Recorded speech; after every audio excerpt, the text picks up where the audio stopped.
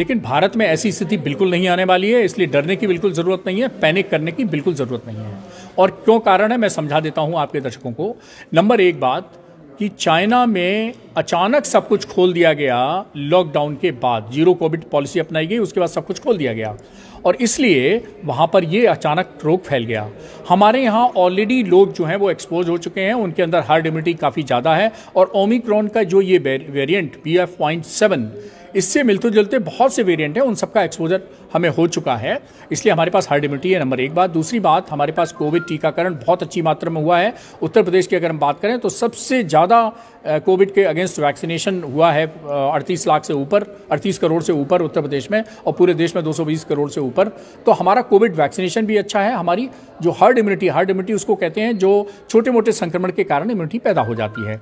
ये दोनों बहुत अच्छी है। और तीसरी बात यह है कि जो हम लोगों ने लड़ाई लड़ी है कोविड के खिलाफ, बहुत अच्छी वैक्सीन से लड़ी हैं। यानी भारत में जितनी वैक्सीन, चार वैक्सीन बनाई गई, वो सब बहुत अच्छी वैक्सीन है, उनकी क्वालिटी बहुत अच्छी है, जबकि चाइना की वैक्सीन पर हमेशा प्रश्न चिन्ह उठता रहा। इवन उसके सबसे पड़ोसी और सबसे इंपॉर्टेंट दोस्त पाकिस्तान ने भी उनकी वैक्सीन के खिलाफ प्रश्न चिन्ह उठाया था।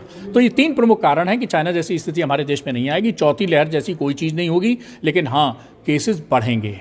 सजगता बरतना ज़रूरी है। इसलिए सजग रहें कोविड अप्रोप्रिएट बिहेवियर का पालन करें बाहर निकलें तो मास्क लगाएँ हाथ धोते रहें और लोगों में दूरी बनाए रखें घर के अंदर आएँ। तो ये मेरा पर्सनल रिकमेंडेशन है डॉक्टर सूर्यकांत का कि वो पाँच मिनट पानी उबाल के भाप ले लें। मान लीजिए गलती से कोरोना आ ही गया है जब आप चाय पी रहे थे या दोस्तों के साथ कहीं खाना खा रहे थे उस दौरान तो ये कोविड तो छोड़िए जितने वायरस इस समय वातावरण में मौजूद हैं पाँच मिनट की भाप से सब मर जाएँगे। सर इसके